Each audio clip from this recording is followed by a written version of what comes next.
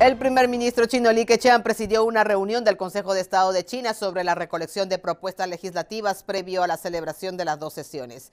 Li Keqiang además elogió los resultados del trabajo legislativo del año pasado, durante las dos sesiones de 2020 se discutió el 85% de las propuestas legislativas presentadas. Esta cifra dio como resultado la creación o el planteamiento de más de 1.500 medidas y políticas.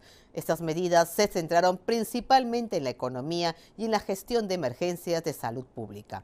Las sesiones de la Conferencia Consultiva Política del Pueblo Chino y la Asamblea Nacional Popular se celebrarán a principios de marzo en Beijing.